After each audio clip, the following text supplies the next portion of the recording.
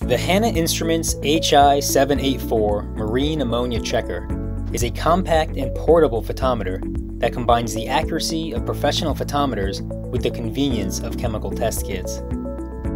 This kit has been carefully designed to ensure accurate measurement of ammonia in aquariums and marine biology applications. Today, we'll go over the proper use of the HI784. The HI784 kit comes with everything you need to begin testing. Reagents for 25 tests, two sample cuvettes with caps, a plastic dropper, one AAA battery, your HI784 checker, and the instruction manual with reference guide. When you first receive your checker, install the battery in the compartment on the underside of your meter. Press the button to power the meter on.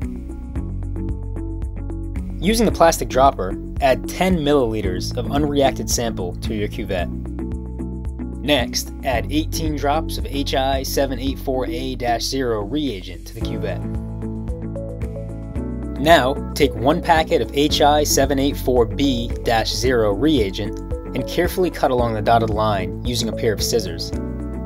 Pinch the corners of the open packet to form a spout. Add the entire content of the packet into the cuvette. After that, replace the cap and repeatedly invert the cuvette for 30 to 45 seconds until the content is dissolved. Wait 30 additional seconds for bubbles to dissipate. Carefully wipe the cuvette with a microfiber cloth to remove any smudges from the glass. Place the cuvette into the checker, close the lid, and press the button. Be sure to wait until C2 is shown on the screen to remove the cuvette.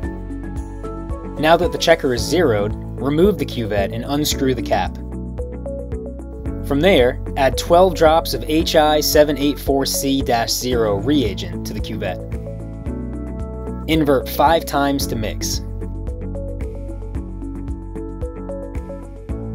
Wipe the cuvette with a microfiber cloth and place back into the checker. Close the lid and hold down the button until a countdown of 15 minutes appears on the screen. When the timer ends, the checker will display the concentration of ammonia in ppm. Once the measurement is finished, dispose of your sample in accordance with local regulations. The next sample may now be taken. Happy testing.